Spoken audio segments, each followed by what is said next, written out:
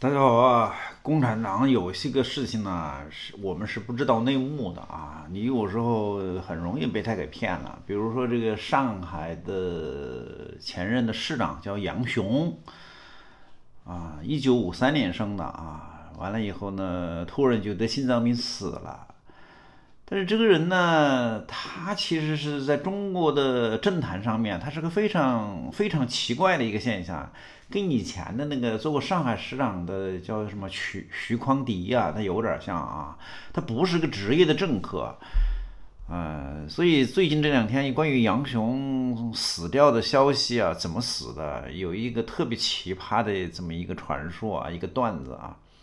说这个杨雄是接收这个性服务，找了几个小姐来伺候他，呃，说是三 P，有的时候是四 P，是吧？挺有意思的啊。说呢，他的身体呢本来就不好，因为杨雄呢是个知识分子啊。你看杨雄的简历啊，杨雄的简历是个正儿八经的知识分子啊，他是经济学的硕士，知道吧？完了以后呢？还是一个正儿八经的一个技术官僚，哎，所以呢，而且他有一个很重要的身份是什么呢？啊，就是双非官员。什么叫双非官员呢？就是他不是中央委员，他也不是中央的委员，候补委员。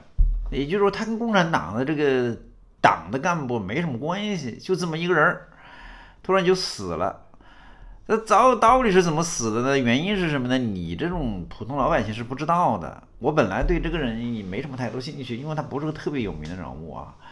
但是呢，我看了这个新闻，我就跟一帮的兄弟们聊聊了一会儿。这个事情呢，可能大有来头，说不定是习主席干的事情，是有可能。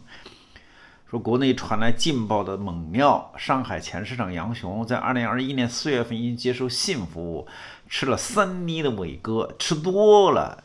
然后导致心梗，然后就猝死了，啊，这个由于事发突然，连上海最顶级的高干病房都没有来得及享用，就一命呜呼。杨雄可以说算是中国最短命的啊直辖市的前市长了，说三年伟哥死，啊，做鬼呢也风流啊，还有具体的细节挺好玩的啊，说人们呐。对这个杨雄感兴趣，不是因为他是南汇人、水泊梁山之同名人，而了解其简历之后呢，他是少有的几个市长没能试图一一起上去的这个的的这么一个人物，其实也不见得啊。上海市以前有一市长叫徐匡迪，也没上去啊。完了以后，这个当然朱镕基是上去了的啊。啊，然后黄菊也做过市长，也是上去的啊。说杨雄没上去啊，本来他按照一般的路子，他应该是做市委书记，然后做这个副总理、总理。但是你忘了杨雄的背景，他是双非官员，他不是中央委员，不是中央委员怎么可能做书记呢？啊，说是。说是这个，还有一些个什么传说，又有十点、十二点十分，华山、瑞金几个看似没有必要的联系的要素，因此以现场的官场潜规则描绘出以下场景啊，是是是是是怎么死的？啊，说当天晚上，杨雄照例在好友的盛情邀请下，坐车前往上海什么什么路什么什么会所聚餐。吃完饭以后呢，好友呢继续下一个节目，就是三 P 美女给伺候。到九点半左右呢，是房间里传来一声尖叫啊！这个好友进去一看，杨呢，杨雄呢已经赤条条，然后满嘴冒冒冒冒冒泡沫，是吗？痛苦状。于是呢，好友在美女小姐的配合下，勉强为杨雄穿好了衣服啊，驾车送往最近的华山医院。由于保密的原因，好友没有透露杨雄的身份，并立即离开了医院。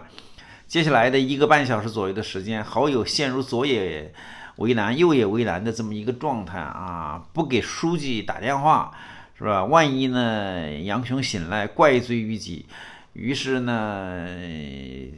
就就就让我们杨雄一个人就瘫在那里啊！如果是很很多人，尤其是领导知道这个杨雄在那里搞女人、吃这个伟哥，如果被知道了，这个人呢，他的前途也毁掉了，怎么办呢？怎么办呢？是。是吧？于是呢，就告诉了自己的朋友，商量来商量去啊，最后就决定找一个匿名电话报信。等找到电话拨过去，时间已经是深夜了啊。于是呢，杨雄在华山医院呢的候诊室，在无人问津的处境下，永远就嗝屁了，就这么意思。后这会儿才知道杨雄死了，市委书记就赶到了，是吧？果断就做出了符合国情的正确的指示，一切都归于平静，啊，大概就这么一个意思吧，啊，都是段子了，但是很有意思啊。我们几个兄弟在一块儿聊天啊，就琢磨这个事情，觉得杨雄的死没那么简单，没那么简单。首先呢，杨雄呢，真的他是个双非官员，他不是中央委员，不是中央委员，不是这个，不是那个什么。啊，候补委员的话，你是做不了市长的啊。完了以后呢，呃，你如果是政绩很好，你就像当年的徐匡迪，徐匡迪从上海市的市长的位置出来以后呢，然后是做中科院的院长，是不是平调嘛？是不是？完了以后，后来做了全国政协副主席，副国级的人物。为什么呢？因为那个老姜呢，他喜欢还是表面上喜欢这种有本事的人，表面上喜欢这种做实事的人。所以老徐虽然最后没当官，但是呢也还行，是吧？但是包子不是这样的人，包子最不喜欢的就是杨雄这种人。杨雄不是他的人嘛，所以他们说这个杨雄的事情呢，很有可能是包子。然后呢，找了一系列的借口把他给做掉了。因为按照杨雄的这个影响力的话，他应该是起码可以做到一个全国政协的一个副主席这么一个位置。包子非常不喜欢他。现在有人为杨雄说话，是吧？上海有一些个人嘛，是吧？你像陈良宇也是，像杨雄也是，他们都是技术官僚，都还行。没有那么的差啊！上海有的时候出一两个有个性的，但是你很不幸，你遇到西包子这么一个人，所以说现在这种话啊，也属于造谣传谣了。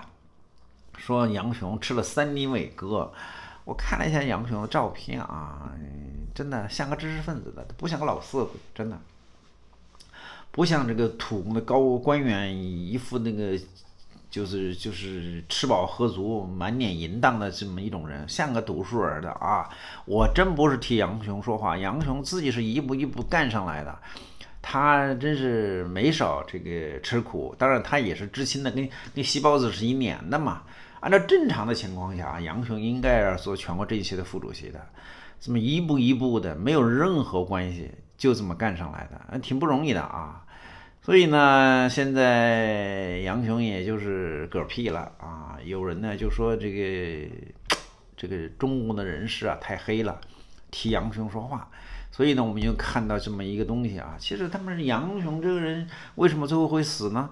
就是包子弟不喜欢他，而他的那个老板老姜家族呢，现在已经臣服于包子弟，所以最后就把杨雄这个人呢就牺牲掉了，就这么一个路子。所以做土工的高官呢，我是，但是我没当过官啊，我是知道一点的。你如果你的靠山不稳的话，你是非常的麻烦的。杨雄这个人呢，如果他这辈子只是做一个职业的这么一个技术官僚啊，也还行，不要当到市，当个副市长一点问题都没有啊。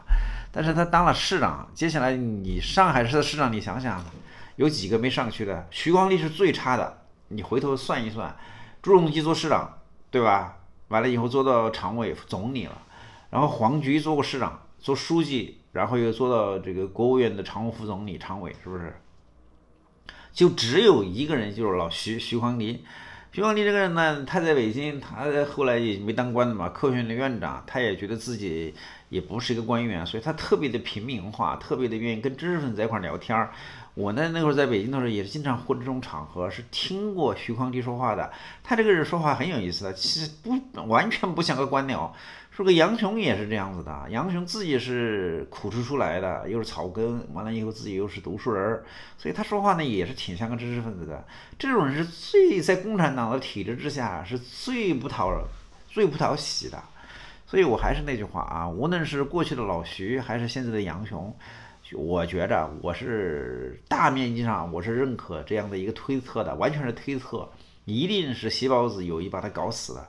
因为杨雄他做到这个上海市的官员以后，他不可能突然就得了个心脏病就死了，怎么可能啊？